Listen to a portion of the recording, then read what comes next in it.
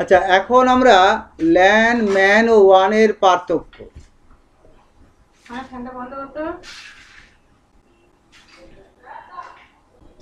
LAN কোনো ছোট ভৌগোলিক পরিধির মধ্যে সীমাবদ্ধ। এর বিস্তৃতি একটি ঘর বিল্ডিং বা একটি অঞ্চলের মধ্যে সীমাবদ্ধ। ল্যান অপেক্ষা বৃহত্তর। এর বিস্তৃতি মেট্রোপলিটন শহর বা সাধারণ শহরতলির মধ্যে সীমাবদ্ধ। তা ল্যান্ডম্যান হলো, ওয়ান হলো, ল্যান্ডম্যান অপেক্ষা অনেক বেশি বিস্তৃত। এর বিস্তৃতি রাজ্য, দেশ, মহাদেশ, এমনকি পৃথিবী ব্যাপী। তাহলে ওয়ানের ল্যান্ড খুব ছোট ম্যান তার থেকে বড় ল্যান্ডের থেকে বড়। মেট্রোপলিটন শহরে হয়, আর এটা ওয়ান হচ্ছে সারা বিশ্বব্যাপী। কতগুলি পার্সোনেল বা একক কম্পিউটার একটি নির্দিষ্ট সংযোগে যুক্ত হয়ে ল্যান গঠন করে। দ্বিতীয়ত দেখো, ম্যানের ক্ষেত্রে অনেকগুলি ল্যান অথবা personal computer, telephone line, microwave antenna ইত্যাদির সঙ্গে যুক্ত হয়ে ম্যান গঠন করে। অনেকগুলি LAN personal computer, telephone line, microwave বা উপগ্রহ ব্যবস্থার সঙ্গে যুক্ত হয়ে ওয়ান গঠন করে। ল্যানের পরিবহন মাধ্যম হিসেবে টুইস্টেড পেয়ার কেবল বা কোএক্সিয়াল কেবল, এগুলো আমরা আলোচনা করিনি, এগুলো করব।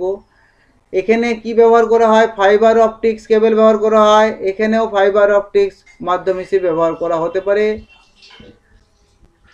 ডেটা প্রেরণ বা সম্প্রচার এর গতি অন্য দুই নেটওয়ার্কের থেকে অনেক বেশি। তুমি এদিক দিয়ে এসো না। ডেটা প্রেরণ বা সম্প্রচারের গতি ল্যান অপেক্ষা কম ওয়ান অপেক্ষা বেশি। ডেটা সম্প্রচারণ গতি ল্যান অপেক্ষা অনেক কম। পাঁচ নম্বরে দেখো ডেটা সম্প্রচারের খরচ অন্য দুই নেটওয়ার্কের তুলনায় অনেক কম। দ্বিতীয় ক্ষেত্রে ল্যানের থেকে বেশি কিন্তু ম্যানে ওয়ানের থেকে কম।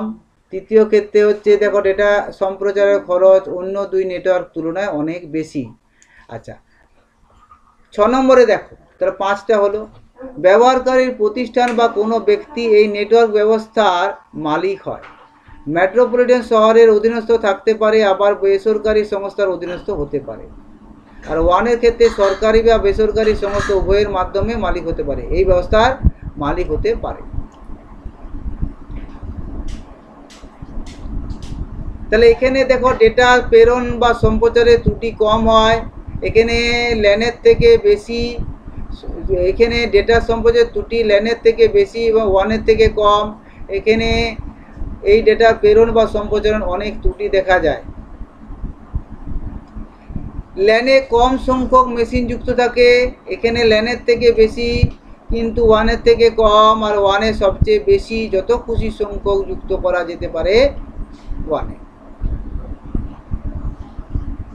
নেটওয়ার্কের প্রযুক্তি নেটওয়ার্ক আর্কিটেকচার এই নেটওয়ার্কে যুক্ত কম্পিউটারগুলি যে পদ্ধতিতে নিজেদের মধ্যে তথ্য আদান প্রদান করে, তাকে নেটওয়ার্ক প্রযুক্তি বলা হয়।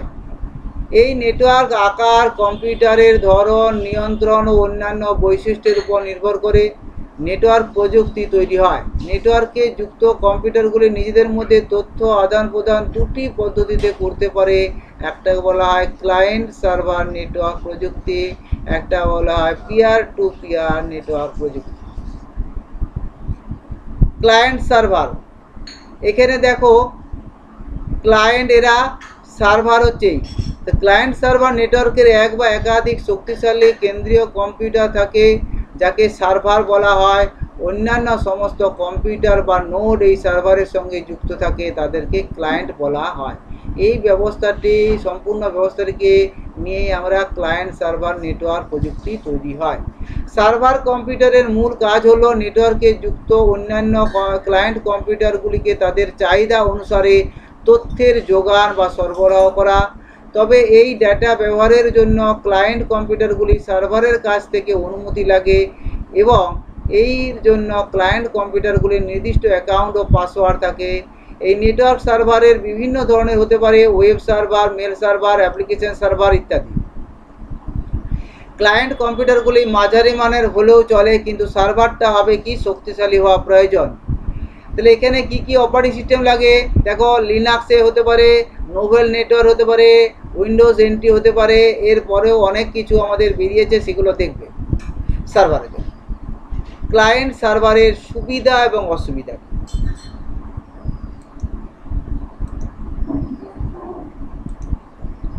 তাহলে এই নেটওয়ার্কে সুবিধা এবং অ্যাডভান্টেজ এবং ডিসঅ্যাডভান্টেজ পরীক্ষায় কখনো কখনো দেয়।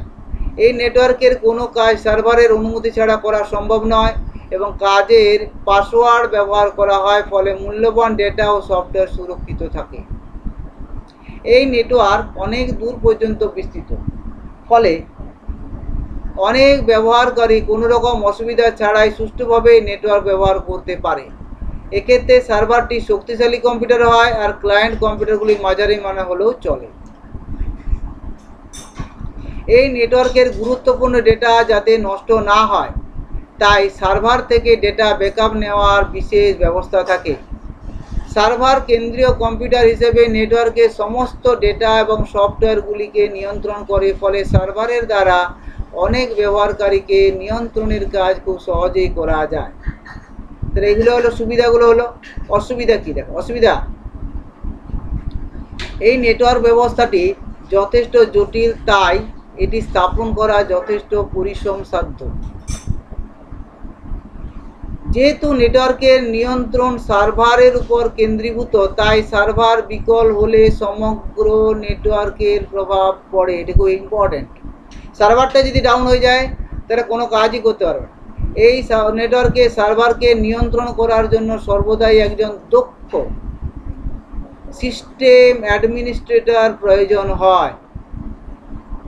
এটা একটা সমস্যা।